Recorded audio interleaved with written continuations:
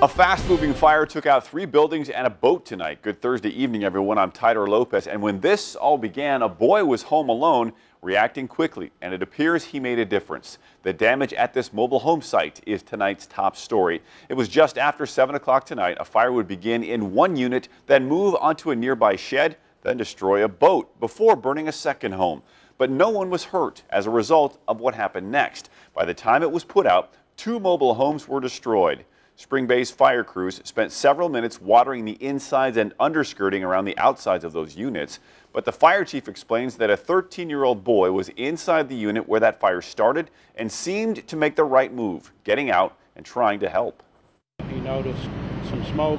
He got out of the mobile home. He went to his neighbor's, knocked on her door, told her about it. She got out of her mobile home. The rest of the family wasn't home at the time, so know, very fortunate that way tragic loss for both families is all I can say. The activity at the Mill Point RV Park in East Peoria certainly drew a crowd tonight. So far, the chief says it's unclear what ignited the fire, but damage was estimated at $30,000. In national news, the former Atlanta officer charged with murdering Rayshard Brooks at a Wendy's parking lot waived his first court appearance. Former officer Garrett Rolfe faces 11 charges on the right, including felony murder for the shooting death of Rayshard Brooks Rolfe's attorney, though, claims the shooting was justified. The other officer, Devin Brosnan, bonded out of jail shortly after turning himself in today. There he is. He stands charged now with aggravated assault and failure to abide by his public oath. I've never even seen a case like this. He's disappointed in the system, to be honest with you. He, he, he was dedicating his life to law enforcement, and he had a lot of faith in the system. And that disappointment ringing out at police departments across the country. From New York to Florida, officers are already stepping down away from specialized units. To prevent that, there's now a $500 bonus from the Atlanta Police Foundation being given to all of that city's police officers. United against police brutality. That was the message behind this rally organized by the Normal Police Department earlier today, making it clear that there is no place for the actions that occurred against George Floyd in Minneapolis. Caitlin Pearson was there and brings us that story. Officers from Normal, ISU, and state police walked side by side with members of their community.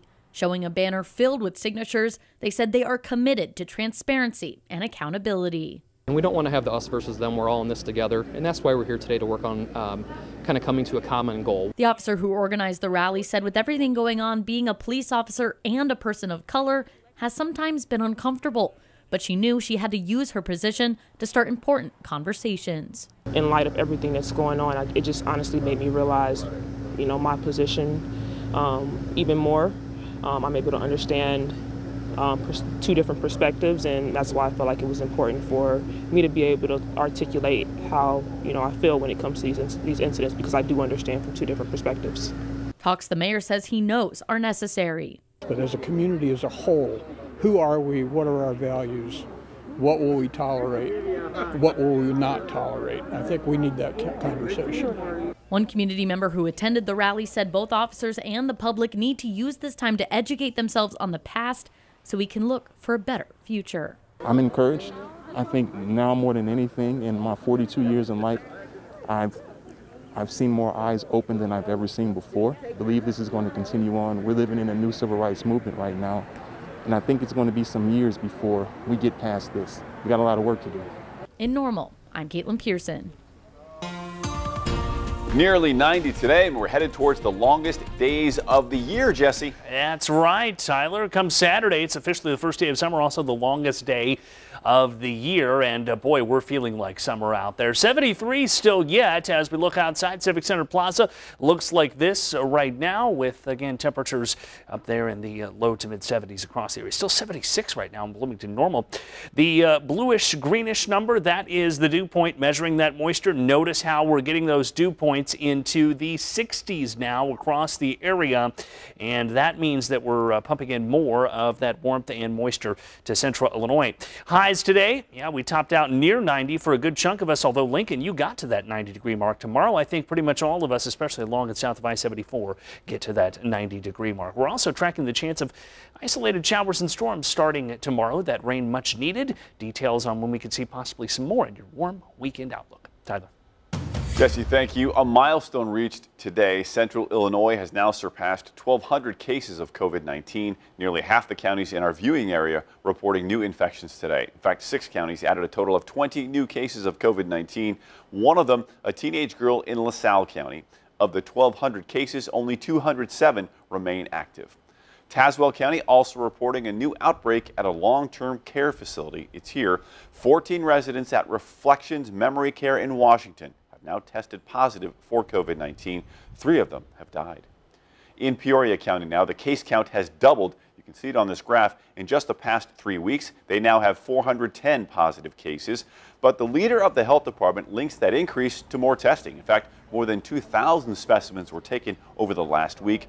And there have been several small outbreaks to increase the numbers as well. But the positivity rate is still under 3% in Peoria County. So she says their focus is on getting ready for phase four, which will be the longest phase. This is the phase that really takes us to a point of having a um, highly validated treatment course and or a vaccine. And those are going to be months out. So, you know, we expect guidance from phase four to come out over the weekend and early next week. And we expect it to be one that's going to be very much, um, you know, the long game the long game. Hendrickson adds that wearing face masks remains crucial to preventing the spread because you may not know if you're carrying that virus. More compensation coming in for local nurses on the front line. The Illinois Nurses Association and the state have now agreed to a 12% increase on employees' base salary for any days worked between April 16th and June 30th of this year. This applies to registered nurses who work in mental health facilities, correctional centers, youth centers, veterans' homes, and a few other places. Also, nurses excluded from the Families First Coronavirus Response Act who worked the full time for the month of May. They also will get an extra personal business day.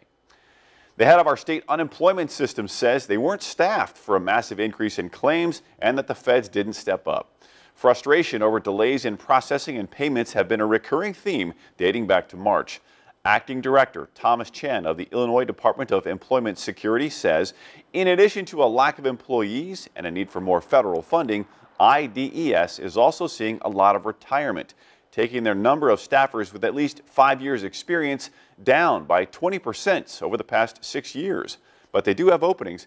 The acting director says IDES needs to fill 170 jobs as soon as possible. If you look at the statistics, you can see that we're receiving around 200 calls from unique claimants each week. Even though our capacity is expanding, we've only ever been able to answer about 15% of those calls. Chan says they're getting roughly 200,000 calls each week. He says criticism of the call center is justified, but he doesn't believe that other state employees could have helped navigate their systems. The battle against COVID-19 is being held with employees working around the clock to try and kill the virus locally. The Lonza plant in Mapleton saw stronger demand for their disinfectant ingredients all the way back in March, then another uptick in April and in May. So at this point, all they do now is produce those ingredients. They've been proven to kill the novel coronavirus. We've gotten to the point now where we really need to focus on the specific orders so we're making sure that we're, you know, making the product that is being used, uh, you know, for the healthcare industries, for the food packing industries. So we're not able to supply everybody.